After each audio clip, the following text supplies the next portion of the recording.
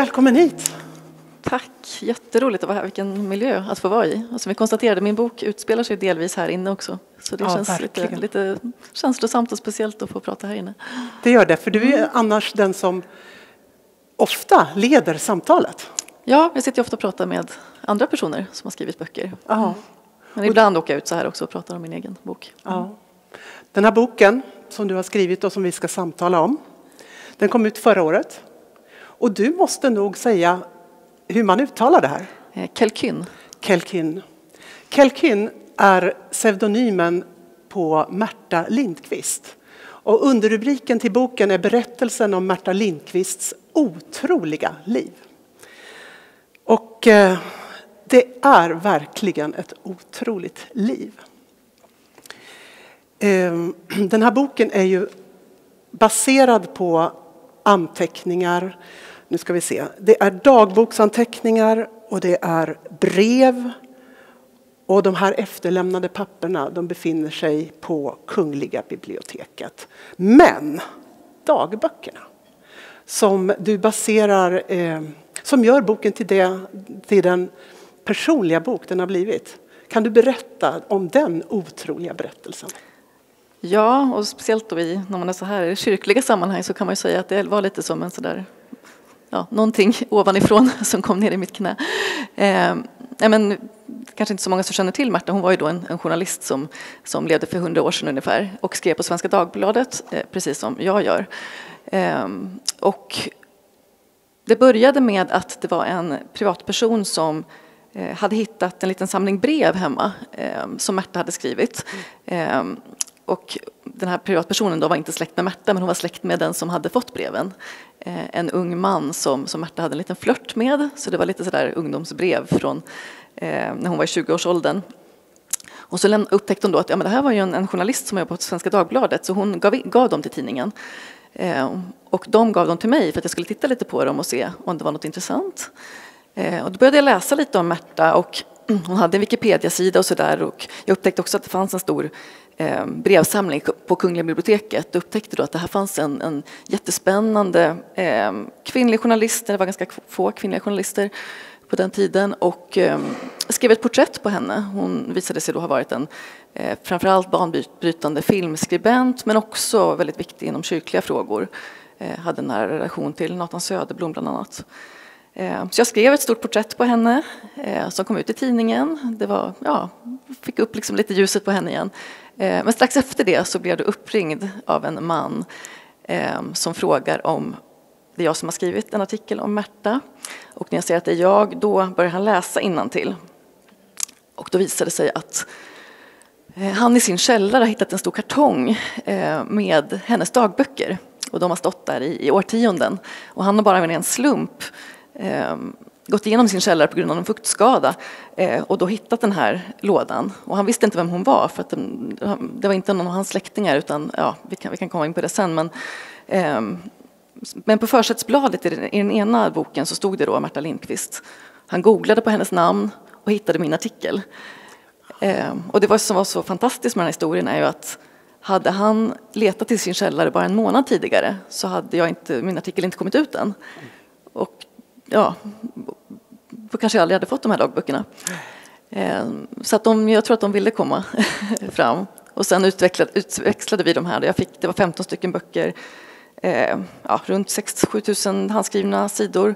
Eh, jag fick två i taget och skulle sammanfatta dem.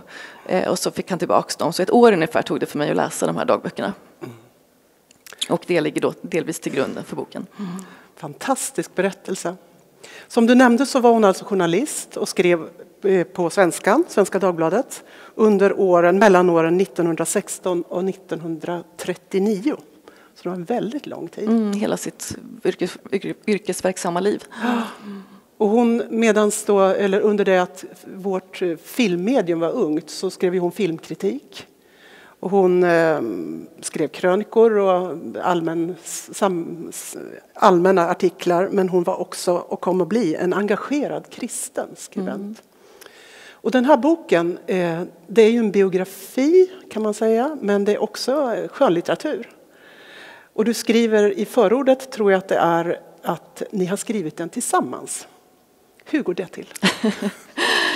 Ehm, ja, nej men Märta skrev ju otroligt mycket. Eh, hon, det var ju en av hennes stora styrkor att hon var väldigt snabb och produktiv. Ehm, och så hade, och, och så både i dagboksform och artikelform och i brevform. De här breven är det är 400 adressater som finns på Kungliga biblioteket. Så det rör sig om det är många, många pärmar. Det är väldigt fascinerande att en människa kan hinna skriva så mycket på ett så kort liv, för hon, hon dog ju ung.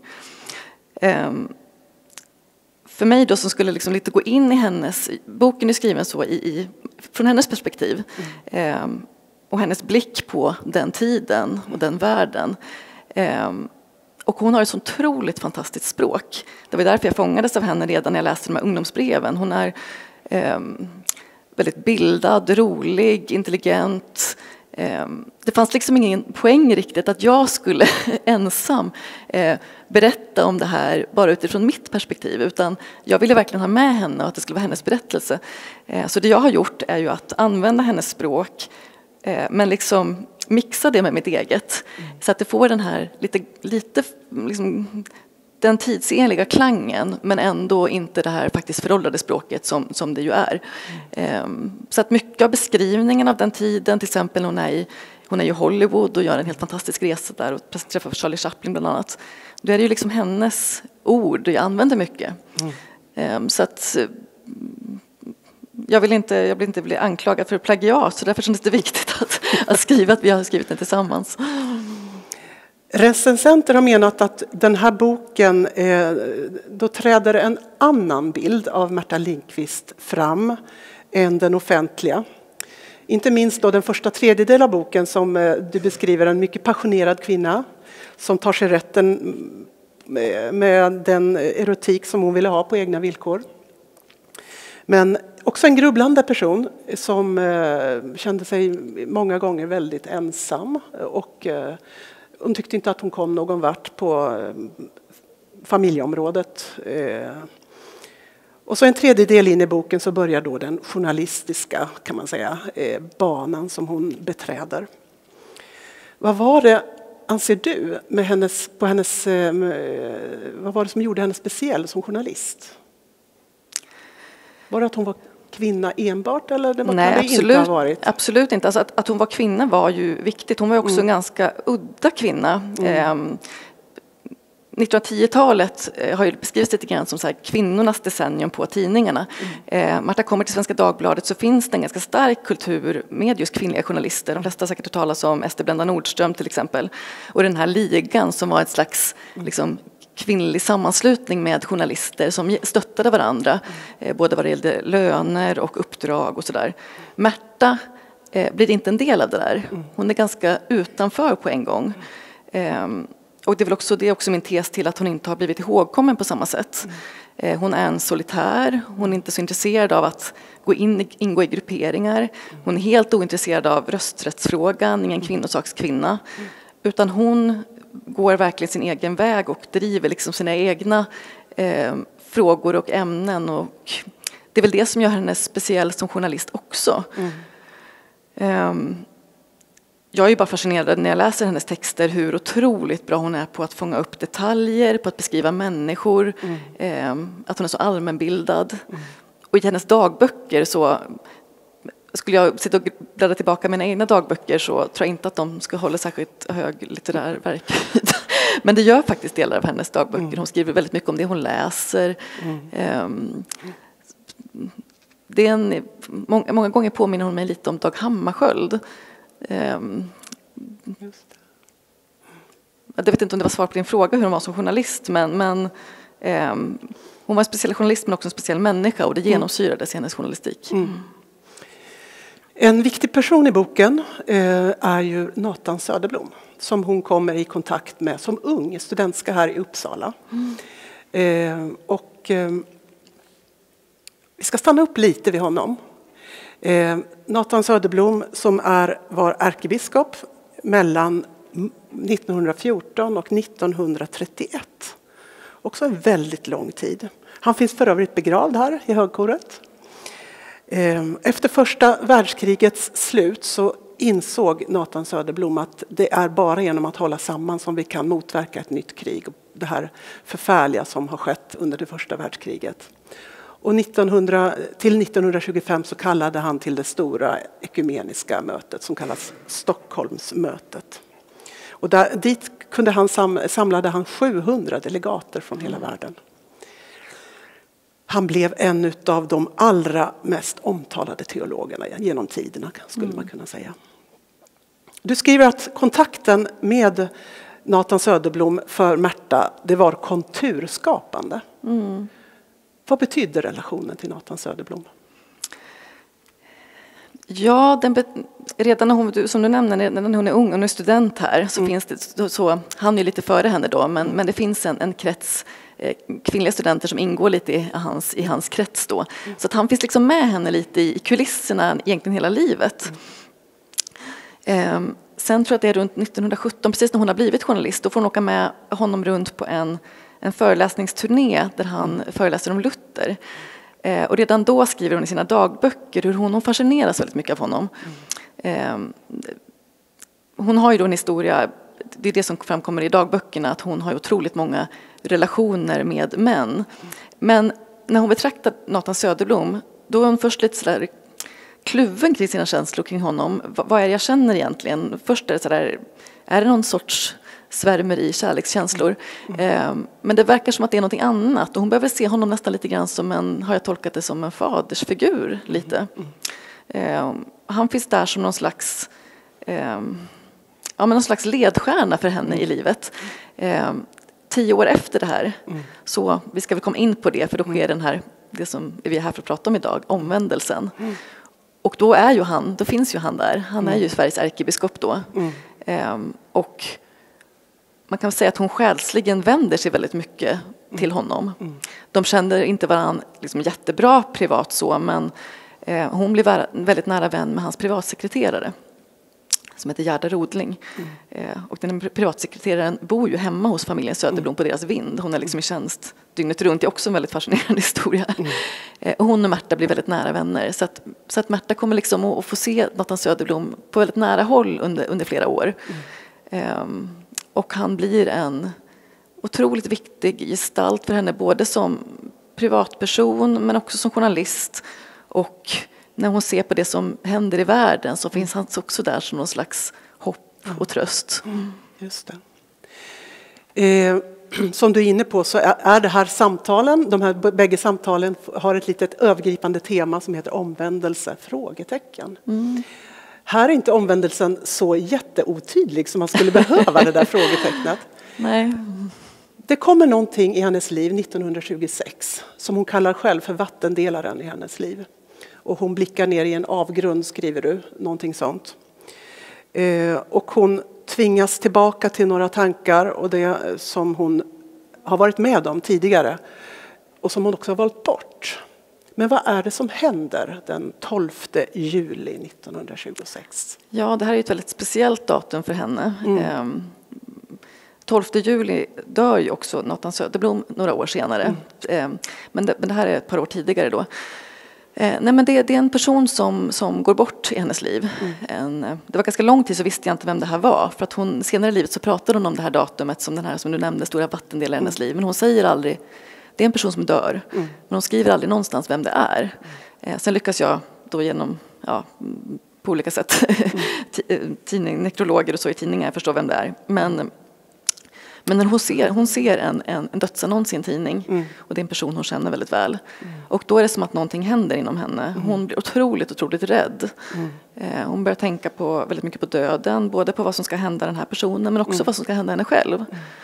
Eh, hon har ju en kristen uppväxt och bakgrund. Hennes föräldrar var en del av någon slags liten frikyrka kan man säga. Mm. Eh, men då under ett antal år när hon lever ett ganska vidlyftigt mm. sexuellt liv mm. så börjar väl uppleva att det går inte att kombinera med, med tron på Gud. Så att mm. hon väljer bort det. Mm. Men då när det här sker då förändrar det allting. Det förändrar hennes, hela hennes livsbana egentligen. Eh, lite fascinerande är också att dagböckerna tar slut vid den här tiden. Mm. dagböckerna finns i, ja, det är 23 år av hennes liv men efter då 1926 så jag vet inte om, det, om hon skrev andra dagböcker som ligger i någon annan låda någonstans. Men, men eh, där tar det slut. Eh, så både i hennes liv och i min bok, så jag har delat upp boken i två delar, så mm. finns det liksom ett, ett före och ett efter det här datumet. Mm. Och jag tänkte läsa om det hon är med om, det är dina ord. Och så märkligt var det att trots de många åren av bortvändhet så hade allt det hon under barnaårens söndagar och det hon i hemmet fått i sig av kristet tänkande stigit upp ur minnet, helt intakt och obrutet. Det hade varit som att öppna en gammal kista som stått låst i åratal och finna ett dyrbart innehåll, väl förvarat och bevarat. Och hon hade tagit upp det och välkomnat det åter. Det här är omvändelsen. Mm. Vad är det Märta är med om egentligen? Vad är omvändelsen? Ordet omvändelse har ju en så en ganska positiv och ljus klang. Man tänker liksom att någon upptäcker någonting som mm. är eh, man kanske tänker på frälsning eller liksom mm. och eh, så som jag själv har sett det under många år, jag är själv troende men har, aldrig, har varit hela mitt liv så jag har aldrig varit med om någon omvändelse mm. och kanske känt mig lite avundsjuk på människor som har varit med om det. Mm. I hennes fall blir det så tydligt att det handlar om någonting annat. Det är ju en, det är en, en skräckupplevelse mm. Eh, som gör att hon liksom kastar sig mot någonting för att finna trygghet eller ro.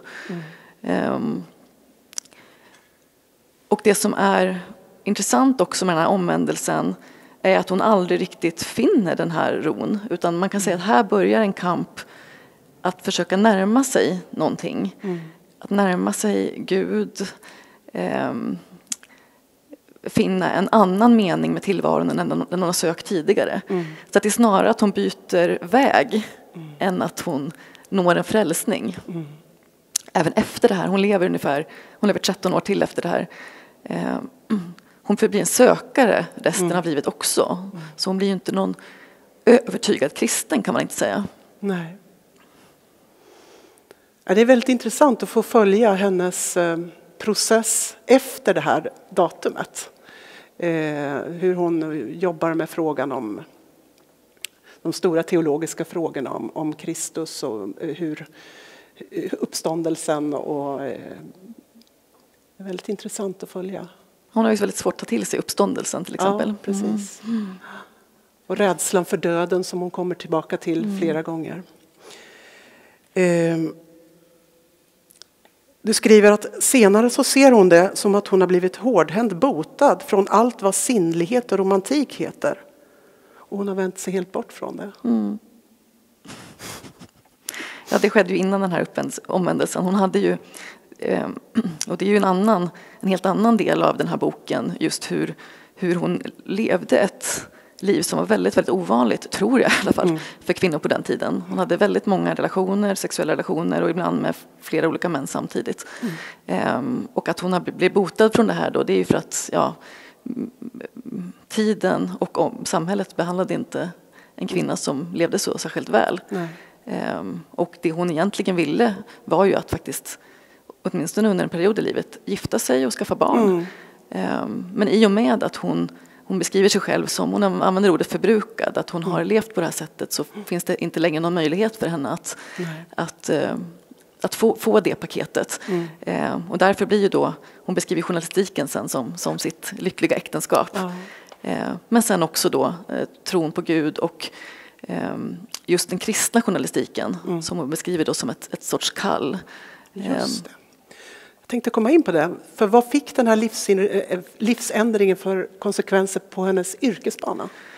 Ja, men de fick ju stora konsekvenser. Om hon hade varit mer av en, en kultur och samhällsreporter innan så, så började hon ju då bli eh, Svenska Dag, en ganska tydlig röst på Svenska Dagbladet inom just kyrkliga och existentiella frågor. Eh, hon tyckte ju själv efter ett tag att hon var den enda på tidningen som intresserade sig för det här. Mm. Eh, och nu idag när vi sitter och man läser det här så är det, tidningarna idag handlar ju ganska lite om sådana om såna frågor, mm. men på den här tiden så var det stort. Eh, alla möjliga kyrko, högt uppsatta kyrkopersoner och biskopar skrev ju regelbundet i tidningen. Mm. På söndagar i Svenska Dagbladet, den här essäsidan under strecket, mm. mm. den handlade alltid om de ämnena. Mm. Och hon blev eh, någon slags inofficiell redaktör för det. Mm. Eh, men hon åkte också med väldigt mycket runt på olika sådana här eh, visitationsresor. Hon följde med Dag, mm. Dag Hammar, eller Nathan Söderblom eh, på, på flera resor. Hon åker ner till eh, till Nazityskland tillsammans mm. med nästa då ärkebiskop Erling Eidem. Mm. Um, och sågs ju av den kyrkliga världen som en väldigt viktig, lite spindeln i nätet mm. nästan. Um, så att hon blev ju en av har jag förstått det som, eh, svensk kristen journalistiks viktigaste röster under den här tiden. Mm. Och du var inne på det Tysklands besöket. Vi kan väl fortsätta där för att det är ju också väldigt spännande och det, hade, det var väldigt upprörande också att få mm. läsa om att eh, eh, hon är alltså med och hon skriver för tidningen Svenska Dagbladet och hon eh, berättar om att det är faktiskt så att hon inte kan vara den kritiska röst som hon så småningom blir. Mm. Men vad hade hon för inställning till det som skedde i Tyskland innan hon kom dit? Ja, men, hon åker ju, kom ju dit väldigt tidigt, redan 1933. Men mm. då har ju ehm, då har nazisterna haft makten i, i nio månader när hon åker ner. Eh, strax innan det så beskriver hon i ett brev till just Gerda Rodling, eh, Nathan Söderbloms privatsekreterare, att hon ser nationalsocialismen som stark och ren. Mm. Um, och hon läser också en, en text av Fredrik Böök, alltså um, Svenska Dagbladets um, en högt aktad skribent och kritiker på den tiden. Han gjorde en rundresa i Tyskland bland annat och bevittnade ett stort bokbål där man brände en, en, av många av de här liksom, ja, viktiga röster, författare som vi idag mm. ser som mm. uppburna Selma Lagerlöf bland annat. Mm. Ehm, och det här bokbålet beskriver han som någonting att, som väldigt positivt. Och ljudet tror jag, nu kom tillbaka. och hon läser den här texten och tycker att den är fantastisk. Mm. och det är ju ganska upprörande idag när man sitter och, och, och läser. Eh, så att hon hade en, liksom många svenskar en ganska sådär Ehm, positiv syn på det som hände i Tyskland. Och det får man förstås då se i ljuset av Versaillesfreden och det som det tyska folket hade fått genomlida under många år. Eh, fattigdomen och skammen och nederlagen. Ehm, så hon liksom många andra hoppades ju att ja, kanske så kan nationalsocialismen vara det som får upp Tyskland på fötter igen. Så det var hennes ja, tidiga inställning. Mm. Även om hon då ska säga redan då 1933 skriver att hon tycker att judeförföljelserna är ett ruskigt kapitel om jag ska använda hennes egna ord. Mm.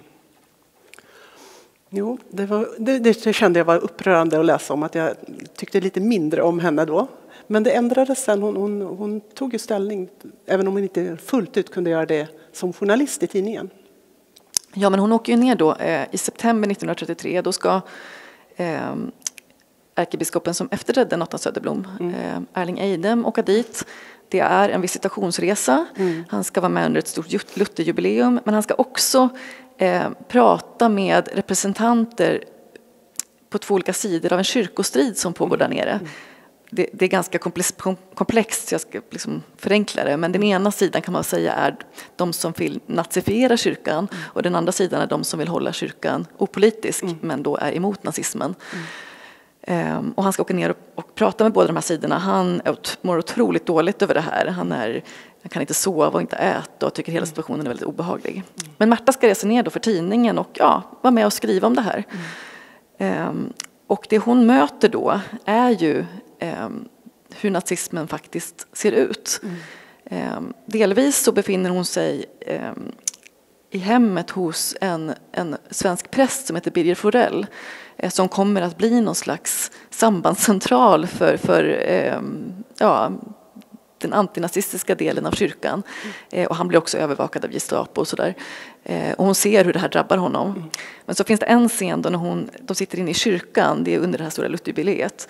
Och hur hela församlingen ställer sig upp och gör, ja, och heilar mm. helt enkelt. och vad som händer inom henne då. Hon tycker att det här är fruktansvärt och hon tänker då på vad Nathan Söderblom skulle ha tyckt om det här. Mm. Och det här blir för henne ett litet uppvaknande. Mm. Och det som var väldigt intressant att se för mig det var artikeln hon skriver i tidningen som är väldigt neutralt hållen mm. och sen vad hon skriver i ett brev mm. eh, där hon verkligen eh, ja, lägger ut orden. Mm. Och hon får ju då inte eh, Enligt sig själv då i alla fall, eh, jag har inte liksom sett några, några order från hennes överordnade, men enligt sig själv så får man inte skriva någonting negativt om Hitler, man får inte skriva någonting negativt om Nürnberglagarna. Eh, och hon börjar uppleva det här som ett allt större problem mm. att bli censurerad. Mm. Om vi backar några år då och är tillbaka på 1930 mm. så får ju Nathan Söderblom Nobels fredspris för sitt arbete med ekumeniken. Och hon är fortfarande väldigt fäst vid eh, Nathan Söderblom. Eh, och när han blir sjuk och så småningom dör året därpå så eh, tog så som jag uppfattade hennes liv en vändning igen. Och den här rädslan för döden blir tydlig. Sen är ju hennes mamma också, de dör samma dag, de här tre ja. viktiga personerna i hennes liv. Olika år men samma dag, 12 juli. 12 juli dör, ja precis, först den här eh, första personen och sen då Nathan Söderblom året efter hennes mamma. Mm. Och hon börjar ju se det här datumet som någon slags förbannelse ja. och börjar också fundera på om det är så hon själv ska eh, gå bort mm. en dag. Mm.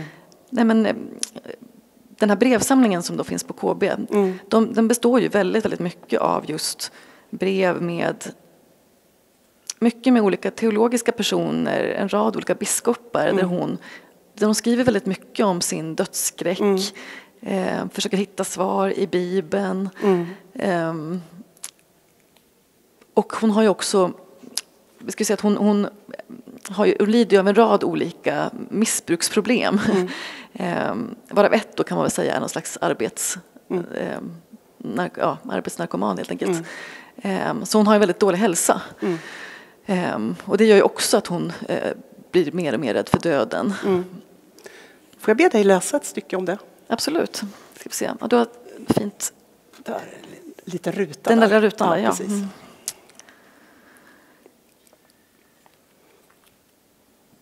Hon berättar vidare att det sedan den där dagen är som om något ständigt arbetar och längtar i henne, vilket konstigt nog fyller henne med ett slags trygghet.